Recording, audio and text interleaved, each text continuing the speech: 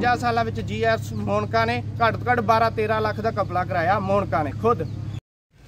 ਕੀ ਨਾਮ ਜੀ ਤੁਹਾਡਾ? ਲਖਵੀਰ ਸਿੰਘ ਜੀ। ਕੀ ਮਸਲਾ ਕੀ ਹੈ ਜੀ? ਮਸਲਾ ਜੀ ਲਖਵੀਰ ਸਿੰਘ ਮੇਰਾ ਨਾਮ ਹੈ ਪਿੰਡ ਮਾੜੇ ਕਲਾਂ ਹੈ। ਠੀਕ ਹੈ। ਅੱਛਾ ਮੇਰਾ ਮਸਲਾ ਕੋਈ ਨਹੀਂ ਵੈਸੇ ਮਤਲਬ ਕਿ ਅਸੀਂ ਪਿੰਡ ਦਾ ਮਸਲਾ ਸਾਡੇ ਦਾ ਸਾਰੇ ਦਾ ਮੇਰਾ ਨਹੀਂ। ਤੁਹਾਡਾ ਸਵਾਲ ਸੀ ਨਾ ਵੀ ਤੇਰਾ ਹਾਂਜੀ? ਤੁਹਾਡਾ ਤੁਹਾਡਾ ਮਸਲਾ ਕੀ? ਹਾਂ ਮੇਰਾ ਮਸਲਾ ਨਹੀਂ ਸਾਰੇ ਪਿੰਡ ਦਾ ਮਸਲਾ ਸਾਡੇ ਪਿੰਡ ਦੇ ਵਿੱਚ ਜੋ ਮੌਜੂਦਾ ਸਰਪੰਚ ਹੈ ਨਾ ਉਹਨੇ ਬਹੁਤ ਕਪਲੇ ਕੀਤੇ 5 ਸਾਲਾਂ ਦੇ ਵਿੱਚ। ਠੀਕ ਹੈ ਜੀ। ਕੀ ਨਾਮ ਕੀ ਸਰਪੰਚ ਦਾ ਜੀ? ਬਿਮਲਾ ਰਾਣੀ। ਔਰਤ ਹੈ। ਠੀਕ ਹੈ ਜੀ। ਉਹ ਕਹਿੰਦੀ ਮੈਂ ਬੀਏ ਕੀਤੀ ਏ। ਪਰ ਸਾਨੂੰ ਨਹੀਂ ਲੱਗਦਾ ਵੀ ਪੜ੍ਹਿਆ ਲਿਖਿਆ ਵਾਲੇ ਕੰਮ ਨੇ। ਸਾਰਾ ਭ੍ਰਿਸ਼ਟਾਚਾਰ ਹੈ। ਜਿਹੜੇ ਬੰਦਿਆਂ ਨੂੰ ਅਸੀਂ ਹੁਣ ਪਿੰਡ ਦੇ ਵਿੱਚ ਰਹਿੰਦੇ ਆ ਮੇਰਾ ਆਪਦਾ ਨਰੇਗਾ ਦਾ ਕਾਰਡ ਬਣਿਆ ਪਰ ਮੈਂ ਕੰਮ ਨਹੀਂ ਕਰਦਾ। ਜਿਹੜੇ ਬੰਦਿਆਂ ਨੂੰ ਅਸੀਂ ਕਦੀ ਵੇਖਿਆ ਹੀ ਨਹੀਂ ਵੀ ਨਰੇਗਾ ਦੇ ਵਿੱਚ ਕੰਮ ਲੱਗੇ ਨੇ ਕਈਆਂ ਫੜ ਕੇ ਹੁਣ ਪਤਾ ਤਾਂ ਹੁੰਦਾ ਆ ਪਿੰਡ ਦੀ ਲੇਬਰ ਇੱਥੇ ਕੰਮ ਕਰਦੀ। ਉਹਨਾਂ ਲੋਕਾਂ ਦੇ ਖਾਤੇ 'ਚ 80 80 ਹਜ਼ਾਰ ਰੁਪਇਆ ਆਇਆ ਪਿਆ ਠੀਕ ਹੈ। ਅੱਛਾ ਹੋਰ ਜੋ ਕੰਮ ਪਿੰਡਾਂ 'ਚ ਵਿਕਾਸ ਦੇ ਚੱਲਦੇ ਆ ਜਿਵੇਂ ਮਤਲਬ ਕਿ ਬਰਾਂਡੇ ਆ ਗਏ ਜਾਂ ਹੋਰ ਕੁਝ ਆ ਗਿਆ ਉਹ ਅਸੀਂ ਮੌਕੇ ਤੇ ਜਾ ਕੇ ਵਿਖਾ ਸਕਦੇ ਹਾਂ। ਅਸੀਂ ਤਾਂ ਏਡੀਸੀ ਤੇ ਪੇਸ਼ ਹੋ ਕੇ ਇਹ ਗੱਲ ਆਖੀ ਹੈ ਵੀ ਤੁਸੀਂ ਮੌਕੇ ਤੇ ਏਡੀਸੀ ਸਿੱਧਾ ਹੀ ਆਵੇ।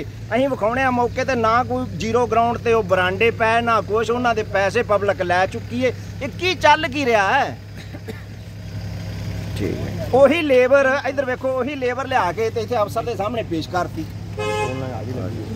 ਕੰਪਲੀਟਡ? ਇਹਨਾਂ ਦੇ ਪੈਸੇ ਪਏ ਨੇ ਇਹਨਾਂ ਐਫੀਡੈਵਿਟ ਵੀ ਦਿੱਤਾ ਆਪਦਾ ਅੱਛਾ ਕਿ ਜੀ ਮੇਰੇ ਪੈਸੇ ਇਹਨਾਂ ਨੇ ਇੱਕ ਵੀ ਦਿਹਾੜੀ ਨਹੀਂ ਲਾਈ। ਠੀਕ ਹੈ। ਹੋਰ ਚਾਲਾਂ ਖੜੀਂਦੀਆਂ ਰਹੀਆਂ ਵੀਰ ਜੀ ਇੱਕ ਮਿੰਟ ਤੁਹਾਨੂੰ ਸਮਝਾਉਣਾ। ਹੋਰ ਚਾਲਾਂ ਖੜੀਂਦੀਆਂ ਰਹੀਆਂ ਵੀ ਇਹਨਾਂ ਇਹ ਇਹ ਕਪੜਾ ਕਰਦੇ ਕਿਵੇਂ ਆ? ਹੁਣ ਲੋਕ ਨੇ ਪਿੰਡਾਂ ਦੇ ਅਨਪੜ ਜਿਵੇਂ ਤੇਰਾ ਖਾਤਾ ਮੈਂ ਸਰਪੰਚ ਮੈਂ ਤੈਨੂੰ ਕਹਤਾ ਮੈਂ ਤੇਰੇ ਖਾਤੇ 'ਚ ਮੈਂ 20000 ਪਵਾਇਆ ਹੈ।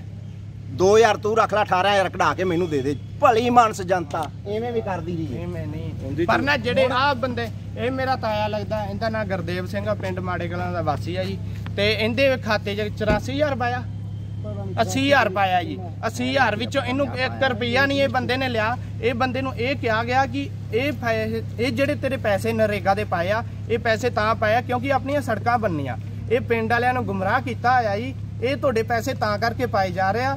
ਕਿਉਂਕਿ ਤੂੰ ਇਹ ਆਪਣੀਆਂ ਸੜਕਾਂ ਬੰਨੀਆਂ ਪਿੰਡ ਦੀਆਂ ਜੀ। ਇਹ ਬੰਦੇ ਤੂੰ ਵੀ ਪੁੱਛ- ਤਾਂ ਇਹ ਦੱਸ ਤੇਰੇ ਕਿੰਨੇ ਪੈਸੇ ਇੰਨੇ ਪਾਏ 80000 ਪੰਜ ਸਾਲ ਹੀ ਹੋ ਗਏ ਮੇਰੇ ਨਾਂ ਤਾਂ ਆਈ ਜਾਂਦੇ ਆ। ਇਹਨਾਂ ਨੂੰ ਮਸਲਾ ਦਾ ਸਪਲਾਇਰ ਪਤਾ ਨਹੀਂ ਕੀ ਕੀ ਆਰਟੀਆਈ 'ਚ ਯਾਰ ਸਾਬਤ ਹੁੰਦਾ ਪਿਆ ਜੀ। ਉਹ ਤਾਂ ਕਿਤੇ ਹੁਣ ਅਫਸਰ ਅੱਜ- ਚੰਗੇ ਹੁਣ ਮੌਕੇ ਤੇ ਜਾਣ ਤਾਂ ਸਾਰਾ ਕੁਝ ਸੱਚ ਇੱਕ ਸਾਹਮਣੇ ਆ ਗੱਲ ਜੀ ਸਕਦਾ ਸਾਡਾ ਕੇਸ ਚੱਲੀ ਜਾਂਦਾ ਲੋਕਪਾਲ ਤੇ। ਠੀਕ ਹੈ ਜੀ ਅੱਜ 29 ਤਰੀਕ ਨੂੰ ਸਾਨੂੰ ਇੱਥੇ ਬੁਲਾਇਆ ਗਿਆ ਜੀ। ਅਸੀਂ ਇੱਥੇ ਆਏ ਅਸੀਂ ਆਦੀ ਸਫ਼ਾਈ ਦੇਣ ਆਏ ਆ ਕਿਉਂਕਿ ਅਸੀਂ ਸੱਚੇ ਆ। ਜਿਹੜੀ ਪਿੰਡ ਦੇ ਸਰਪੰਚ ਆ ਮੁਖੀ ਬੰਦੇ ਉਹਨਾਂ ਪਿੰਡ ਵਾਲੀ ਨਰੇਗਾ ਦੀ ਲੇਬਰ ਲੈਣ ਦੀ। ਜਿਹੜੇ ਬੰਦਿਆਂ ਦੀ ਹਾਜ਼ਰੀ ਆਨਲਾਈਨ ਲੱਗੀ ਇੱਕ ਸਾਈਡ ਤੋਂ ਪੈਸੇ ਲੈਂਦੇ ਦੂਸਰੇ ਸਾਈਡ ਤੋਂ ਉਹਨਾਂ ਦੀ ਅਸੀਂ ਐਪਲੀਕੇਸ਼ਨ ਦਿੱਤੀ ਇਹਨਾਂ ਦੇ ਪੈਸੇ ਨਹੀਂ ਆਏ ਪਏ। ਆ ਉਹੀ ਗਵਾਹ ਬਣੇ ਹੋਏ ਆ। ਦਿੰਦੇ ਪਏ। ਉਹੀ ਹਾਜ਼ਰੀ ਅੱਜ ਹੁਣ- ਅੱਜ ਦੀ ਡੇਟ 'ਚ ਆਨਲਾਈਨ ਹਾਜ਼ਰੀ ਲੱਗੀ ਹੈ। ਏਡੀਸੀ ਸਾਹਿਬ ਨੂੰ ਆਖਿਆ ਬਾਹਰ ਆ ਕੇ ਵੇਖੋ ਬਾਹਰ ਆ ਕੇ ਦਫ਼ਤਰ ਚੋਂ। ਆਹ ਲੇਬਰ ਖੜੀ ਹੋ ਪਰ ਹੁਣ ਵਾਵਾ ਲੇਬਰ ਪੇਸ਼ ਹੀ ਹੋ ਗਈ ਏਡੀਸੀ ਸਾਹਿਬ ਦੇ ਪਤਾ ਤਾਂ ਲੱਗ ਹੀ ਜਾਣਾ ਸਾਹਿਬ ਨੂੰ। ਅਸੀਂ ਪਹਿਲਾਂ ਦੱਸ ਆਏ ਆ ਇਹ ਅੱਗੇ ਵੀ ਇੱਕ ਵਾਰੀ ਹੋਇਆ ਇਹ ਕੋਈ ਮਸਲਾ ਹੋਇਆ ਪਿੰਡ ਵਿੱਚ ਇਹ ਰੌਲਾ ਨਹਿਰ ਤੇ ਕੋਈ ਨਰੇਗਾ ਨੂੰ ਲੈ ਕੇ ਇਹ ਵਿੱਚ ਸਰਪੰਚ ਦਾ ਨਰੇਗਾ ਵਾਲੇ ਮਸਲੇ 'ਚ ਜਿਹੜੀ ਜੀਐਸ ਮੋਨਕਾ ਰਾਣੀ ਹੈ ਉਹਦੇ ਟਾਈਮ 'ਚ ਜਿੰਨਾ ਕਪਲਾ ਆਇਆ ਕਿ ਪੂਰੇ 50 ਸਾਲਾਂ ਵਿੱਚ ਜੀਐਸ ਮੋਨਕਾ ਨੇ ਘੱਟ ਤੋਂ ਘੱਟ 12 13 ਲੱਖ ਦਾ ਕਪਲਾ ਕਰਾਇਆ ਮੋਨਕਾ ਨੇ ਖੁਦ। ਤੁਹਾਡਾ ਜੀ? ਸਰ ਮੇਰਾ ਨਾਮ ਜਸਵੰਤ ਸਿੰਘ ਹੈ ਮੈਂ ਨੌਜਵਾਨ ਭਾਸਵਾ ਜਥੇਬੰਦੀ ਜ਼ਿਲ੍ਹੇ ਦਾ ਮੀਤ ਪ੍ਰਧਾਨ ਜੀ। ਸਰ ਸਭ ਤੋਂ ਪਹਿਲਾਂ ਤਾਂ ਤੁਹਾਡਾ ਧੰਨਵਾਦ ਹੈ ਤੁਸੀਂ ਇੱਥੇ ਮੇਰੀ ਬਾਈਟ ਲਾਈਨ ਵਾਸਤੇ ਪਹੁੰਚੇ ਹੋ। ਸਰ, ਮਸਲਾ ਹੈ ਕਿ ਮੈਂ ਆਪਣੇ ਸਰਪੰਚ ਸ਼੍ਰੀਮਤੀ ਮਹਿੰਦਰ ਕੌਰ ਅਤੇ ਜੀਐਸਆਰ ਮੋਨਕਾ ਰਾਣੀ, ਜਿਨ੍ਹਾਂ ਨੇ ਨਰੇਗਾ ਵਿੱਚ ਬਹੁਤ ਤਗੜਾ ਸਾਡੇ ਪਿੰਡ ਕਪਲਾ ਕੀਤਾ, ਪਿੰਡ ਜਵਾਈ ਸਿੰਘ ਵਾਲੇ। ਉਹਦੇ ਦੀ ਆਰਟੀ ਰਾਹੀਂ ਮੈਂ ਜਵਾਬ ਲਿਆ ਸੀ ਕਿ ਜਿਹੜਾ ਬੰਦਿਆਂ ਨੇ ਕੰਮ ਹੀ ਨਹੀਂ ਕੀਤਾ, ਉਹਨਾਂ ਦੇ ਖਾਤੇ 'ਚ ਪੇਮੈਂਟ ਪਾਈ ਗਈ। ਜਿਵੇਂ ਕਿ ਸਾਡੇ ਸਰਪੰਚ ਆ ਸ਼੍ਰੀਮਤੀ ਮਹਿੰਦਰ ਕੌਰ, ਉਹਦੇ ਘਰ ਵਾਲੇ ਦੇ ਨਾਂ ਤੇ, ਉਹਦੀ ਕੁੜੀ ਦੇ ਨਾਂ ਤੇ, ਉਹਦੇ ਮੁੰਡੇ ਦੇ ਨਾਮ ਤੇ, ਜਿਹੜੀ ਉਹਦੀ ਕੁੜੀ 2020 ਦੇ ਵਿੱਚ ਵਿਆਹੀ ਵੀ ਹੈ ਤੇ 2021 ਦੇ ਵਿੱਚ 78 ਦਿਨ ਕੰਮ ਕੀਤੀ ਜਾਂਦੀ ਹੈ। ਵਿਆਹ ਵੀ ਪਿੰਡ ਤੋਂ ਗੁਰੂ ਸਾਹਿਬ ਤੋਂ ਲੈ ਕੇ ਫਾਇਲਗਾ ਏਰੀਆ ਚ ਬਈ 70 ਕੇ 70 78 ਕਿਲੋਮੀਟਰ ਹੈਗਾ। ਇੰਨੀ ਦੂਰ ਵਿਆਹੀ ਉੱਥੋਂ ਆ ਕੇ ਕੰਮ ਜ ਮਤਲਬ ਕਰ ਨਹੀਂ ਸਕਦੀ ਨਾ ਉਹ ਮਤਲਬ ਇੱਥੇ ਰਹਿ ਸਕਦੀ 78 ਦਿਨ ਲਗਾਤਾਰ। ਉਹਦੀ ਹਾਜ਼ਰੀਆਂ ਜਲਦੀ ਹਾਜ਼ਰੀਆਂ ਲਾ ਕੇ ਜੀਐਸਐਲ ਮੁਨਕਾ ਵੱਲੋਂ ਉਹਦੇ ਖਾਤੇ ਪੇਮੈਂਟ ਪਾਈ ਗਈ ਹੈ।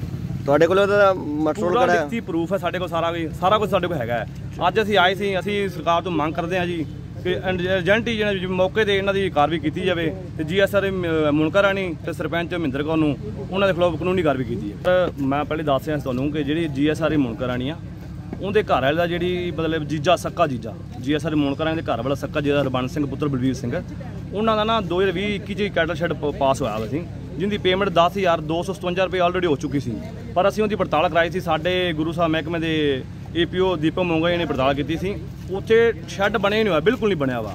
ਤੇ 39 ਦਿਹਾੜੀ ਦੀ ਪੇਮੈਂਟ ਉਹਨਾਂ ਦੇ ਖਾਤੇ ਆਲਰੇਡੀ ਪੈ ਚੁੱਕੀ ਹੈ ਅਸੀਂ ਮੌਕਾ ਵਿਖਾਇਆ, ਅਸੀਂ ਅੱਜ ਸਾਹਿਬ ਨੂੰ ਦੱਸਿਆ, ਤੇ ਅਸੀਂ ਵੇਖਦੇ ਹਾਂ ਕਿ ਅਗਲੀ ਕਾਰਵਾਈ ਸਰ ਕੀ ਕਰਦੇ ਆ ਤੁਹਾਡਾ ਕਹਿਣ ਦਾ ਮਤਲਬ ਹੈ ਵੀ ਪੈਸੇ ਪਵਾ ਲਏ ਤੇ ਕਹਿੰਦੇ ਕੰਮ ਨਹੀਂ ਹੋਇਆ। 39 ਦਿਹਾੜੀਆਂ ਦੀ ਪੇਮੈਂਟ ਹੋ ਚੁੱਕੀ ਆ।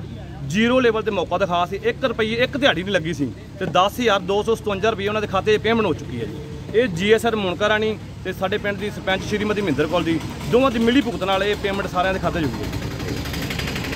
ਤੁਹਾਡਾ ਜੀ? ਮੇਰਾ ਨਾਮ ਜੀ ਸੁਰਿੰਦਰ ਸਿੰਘ। ਅਸੀਂ ਪਿੰਡ ਮਾੜੇ ਕਲਾਂ ਦੇ ਵਾਸੀ ਹਾਂ। ਅਸੀਂ ਇੱਕ ਲੋਕਪਾਲ ਤੇ ਸ਼ਿਕਾ- ਸ਼ਿਕਾਇਤ ਕਰੀ ਸੀ ਵੀ ਨਰੇਗਾ ਵਿੱਚ ਜਿੰਨਾ ਵੀ ਕਪਲਾ ਹੋਇਆ ਉਹਦੀ ਜਾਂਚ ਕੀਤੀ ਜਾਵੇ ਉਹਦੀ ਪਮਾਇਸ਼ ਵੀ ਕੀਤੀ ਜਾਵੇ ਤਾਂ ਜੋ ਸਾਰਾ ਸੱਚ ਸਾਹਮਣੇ ਆ ਸਕੇ। ਇਹਦੇ ਵਿੱਚ ਹੁਣ ਅੱਜ ਸਾਨੂੰ ਤਰੀਕ ਸੀ ਅਸੀਂ ਤੇ ਪੇਸ਼ ਹੋਏ ਹਾਂ ਪਰ ਜਿਹੜੇ ਸਰਪੰਚ ਆ ਉਹ ਨਰੇਗਾ ਦੀ ਹੀ ਲੇਬਰ ਲੈ ਕੇ ਆ ਗਏ ਇੱਥੇ। ਉਹਨਾਂ ਦੀ ਆਨਲਾਈਨ ਹਾਜ਼ਰੀ ਵੀ ਲੱਗੀ ਹੋਈ ਹੈ ਬਕਾਇਦਾ ਸਾਡੇ ਕੋਲ ਪ੍ਰੂਫ ਹੈ ਸਕਰੀਨਸ਼ਾਟ ਅਸੀਂ ਕਰੇ ਹੋਏ ਆ। ਆ। ਵੀਰ ਅਸੀਂ ਲਿਸਟ ਵੀ ਬਣਾਈ ਹੈ ਪੈਨ ਨਾਲ। ਸਕਰੀਨਸ਼ਾਟ ਸਾਡੇ ਕੋਲ ਹੈ ਆ। ਇਹ ਬੰਦੇ ਉਹ ਨੇ ਜਿਹੜੇ ਹਾਜ਼ਰੀ ਲੱਗੀ ਹੋਈ ਹੈ ਹਾਂਜੀ ਹਾਂਜੀ ਉਹਨਾਂ ਹਾਜ਼ਰੀ ਲੱਗੀ ਹੈ ਤਾਂ ਅੱਜ ਇੱਥੇ ਤਰੀਕ ਤੇ ਵੀ ਆਏ ਆ ਗਵਾਹ ਬਣ ਕੇ। ਤੇ ਇਹਨਾਂ ਖਿਲਾਫ ਹੀ ਅਸੀਂ ਲਾਈ ਹੋਈ ਹੈ ਤੇ ਜਿਨ੍ਹਾਂ ਖਿਲਾਫ ਦਰਖਾਸਤ ਹੈ ਉਹੀ ਇੱਥੇ ਆ ਕੇ ਬਿਆਨ ਵੀ ਦੇ ਰਹੇ ਠੀਕ। ਹਾਂਜੀ ਸਰ ਕੀ ਨਾਮ ਤੁਹਾਡਾ ਜੀ? ਮੇਰਾ ਨਾਮ ਰਮਨ ਸਚਦੇਵਾ। ਠੀਕ ਹੈ ਜੀ ਤੁਸੀਂ ਐਜ਼ ਏ ਕੀ ਲੱਗਿਆ ਹੋਇਆ ਇੱਥੇ? ਮੈਂ ਡਿਸਟ੍ਰਿਕਟ ਨੌਟਿਕਲ ਨੌਟਲ ਓਕੇ ਤੇ ਕੀ ਮਾੜੇ ਕਲਾਂ ਦਾ ਕੀ ਰੋਲਾ ਹੈ ਕੀ ਮਸਲਾ ਹੈ ਜੀ? ਮਾੜੇ ਕਲਾਂ ਦੀ ਸ਼ਿਕਾਇਤ ਮਾਨਯੋਗ ਏਡੀ ਸਾਹਿਬ ਨੂੰ ਪ੍ਰਾਪਤ ਹੋਈ ਆ। ਕੁਝ ਐਮਬੈਜ਼ਲਮੈਂਟ ਦੀ ਸ਼ਿਕਾਇਤ ਆ। ਉਹਨੂੰ ਮਾਨਯੋਗ ਏਡੀ ਸਾਹਿਬ ਦੀ ਸਾਰੀ ਟੀਮ ਅਸੀਂ ਸਾਰੇ ਰਲ ਕੇ ਉਹਨੂੰ ਇਨਕੁਆਇਰ ਕਰ ਰਹੇ ਆ। ਉਹਦੇ ਵਿੱਚ ਇੱਕ ਜੀਆਰਐਸ ਮੋਨਿਕਾ, ਉਹਦੇ ਤੇ ਕੁਝ ਗੰਭੀਰ ਆਰੋਪ ਲੱਗੇ ਆ। ਜਿਹਦਾ ਏਡੀ ਸਾਹਿਬ ਨੇ ਸਖਤ ਨੋਟਿਸ ਲੈਂਦੇ ਆ। ਉਹਨੂੰ ਇੱਕ ਵਾਰ ਅਸੀਂ ਉਹਦੀਆਂ ਸੇਵਾਵਾਂ ਜਿਹੜੀਆਂ ਮੁਅੰਤਲ ਕਰਤੀਆਂ। ਬਾਕੀ ਜਦੋਂ ਜਾਂਚ ਦੀ ਸਿੱਟਾ ਰਿਪੋਰਟ ਆਊਗੀ, ਫਿਰ ਬਾਅਦ ਚ ਅਗਲਾ ਡਿਸੀਜਨ ਲਿਆ ਜਾਊਗਾ। ਧੰਨਵਾਦ।